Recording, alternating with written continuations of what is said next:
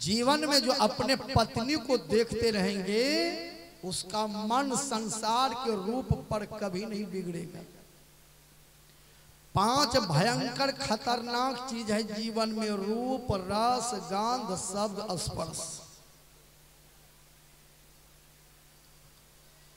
भगवान राम, सुर्पनाखा को देखा तक नहीं।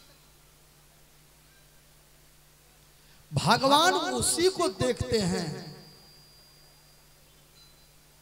जिसका आचरण बढ़िया हो, व्यवहार बढ़िया हो, चरित्र बढ़िया हो, भोजन बढ़िया हो, रहनी वृत्ति बढ़िया हो, जिसमें भक्ति भाव है, भगवान उसी को देखते हैं।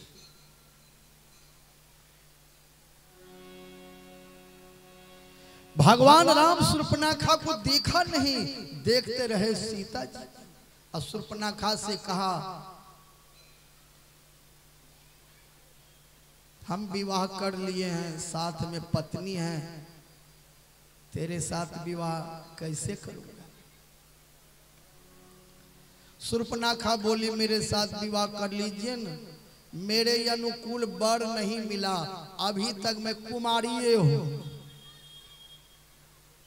अब भगवान सोच रहे हैं, जब ये विवाहित विवाह किए हैं इसको बाल बच्चा है अब फिर भी कह रही है, कुमारी हूँ तो चलो हम भी थोड़ा झूठ बोल देते हैं।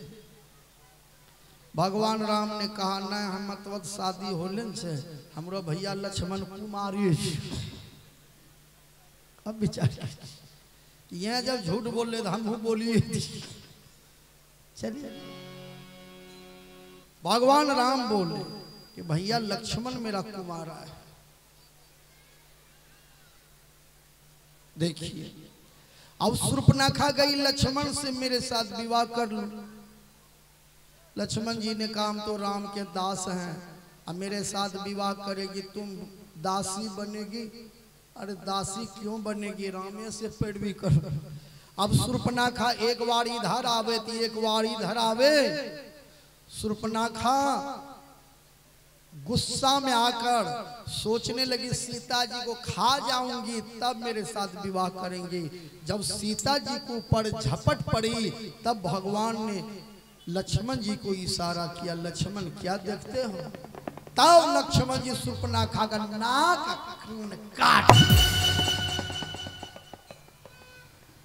तो जो अपने मन से अपना बरतुहारी लगाएँगे, विवाह करने के लिए जाएँगे, उसका तो नाक कान कटबे करेंगे आदमी को धैर्य रखना चाहिए कि जहिया हमारा माँ बाप बड़ बरतुहारी लगा के बियाह कराते, तहिया करबे बियाह हम अपना मनुष कहने लगेबे बरतुहारी त्रेता युग में सुर्पनाखा के नाक कटी गए तो हमरो नाक नहीं कटते की? ये रामचरित मानस से आदमी को शिक्षा नारद जी को लीजिए। नारद जी भी अपने मन विष्णु भगवान के कल के हमारा रूप दे दिए।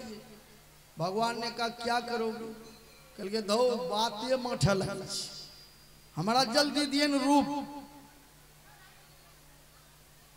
विष्णु भगवान नारद जी को इस जगह से इधर को चकाचक बना दिया। नहीं दल के बंदर, बला तो जो अपने मन से विवाह करने जाएँगे, चक्र ने पूछते बुझो मुँह बनरवा रंग के होबे करते की रे? की कह दिल रे? लाजो से दो है की ओठो बुझो मुँह भगले बंदर तो रामचरित मानस में जो घटना घटित हुआ है, उसी से आदमी को शिक्षा ले लेना चाहिए। चलिए। जो आदमी विवाह किए हैं तो पति पत्नी में मोटरसाइकिल के चक्का के तरह टंच रहना चाहिए, प्रेम। अगला चक्का जना वो नहीं, पिछलो चक्का दौड़े। तो पति पत्नी में मोटरसाइकिल के चक्का के तरह प्रेम होना चाहिए। बढ़िया बात पति कहे, पत्नी को मानना चाहिए। बढ़िया बात पत्नी कहे, पति को मानना चाहिए। पति के लिए पत्नी देवी है, पत्नी के लिए पति भगवान है। पति को गाली कभी नहीं देना चाहिए। प्यार से बोलना चाहिए, देवी जी, भोजन में की देरी है देवी जी, देवी कहिए मियाज गदगदाइए जैता है। तीन अंगना में कहते हैं, दीदी, हमरा आवा देवी कहे देवी। लोग उल्टे काम करते हैं। आधार कार्ड में देवी लिखे ले चाही न गड़ागड़ी करे खाली आधार कार्ड में देवी देवी बोलबो। पति को चाहिए, प्यार से बोलना चाहिए, पत्नी को चाहिए, प्रेम से बोलना चाहिए, यही है जीवन जीने की कला। चलिए।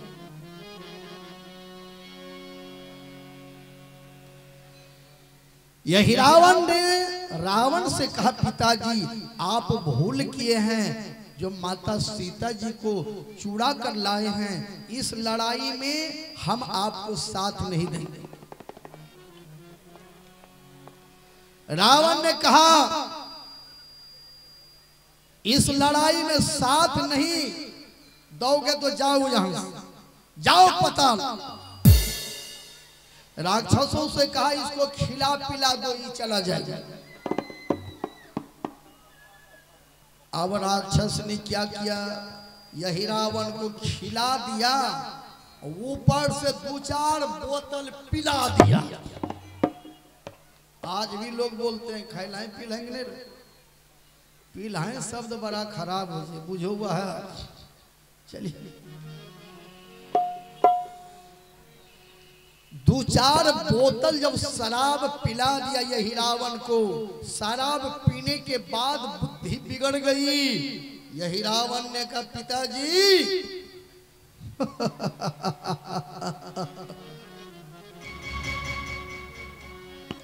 देखूँगा कैसा तपसी है।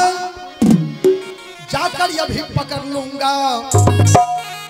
ले जाकर दुर्गा मंदिर में तपसी को बलि चढ़ा दूँगा।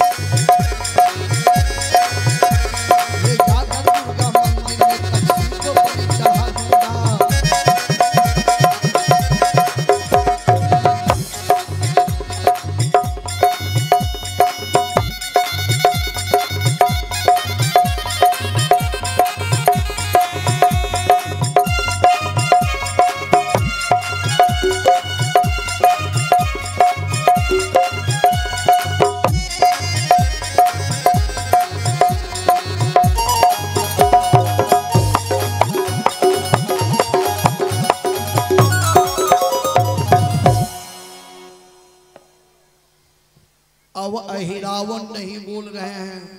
कौन बोल रहे हैं? बोतल। अब बोतल बोल रहे हैं पिताजी। देखूँगा कैसा तपस्वी है, जाकर अभी पकड़ लूँगा। ले जाकर दुर्गा मंदिर में तपस्वी को बलि चढ़ा था। तुरंत बुद्धि बिगड़ गई। आदमी को शराब कभी नहीं पीना चाहिए। अहिरावण ने कहा, पिताजी,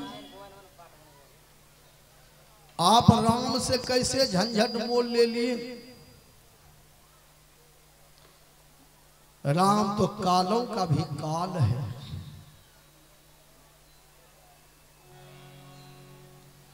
भक्तों के लिए तो भगवान है। राक्षसों के लिए तो महाशैतान है। आप राम से लड़ाई कैसे मोल लिए? रावण ने कहा, बेटा, बहन सुरपनखा गई थी पंचवटी फूल तोड़ने। राम ने इशारा किया, लक्ष्मण को बहन सुरपनखा का नाक कान काट लिया।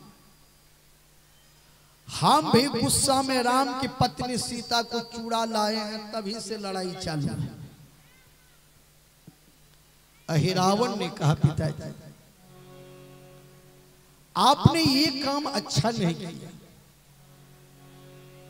आप जगत जननी जगदम्मा माता भगवती सीता को चूड़ा लाए हैं। सुरपनाखा ने गलती क्या हो। तब तो नाक कान काट। लिया सुरपनाखा की गलती।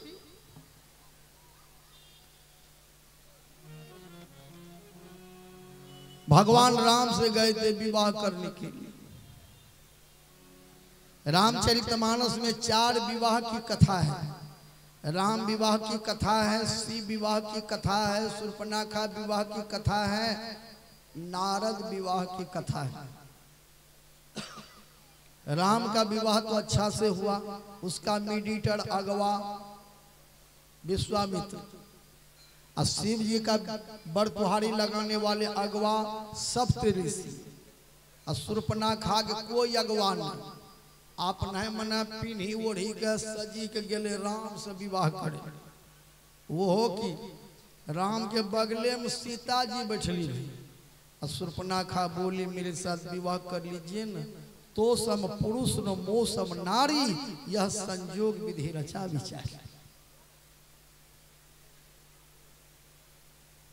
भगवान राम सुर्पनाखा को देखा देखते रहे सीता जी। को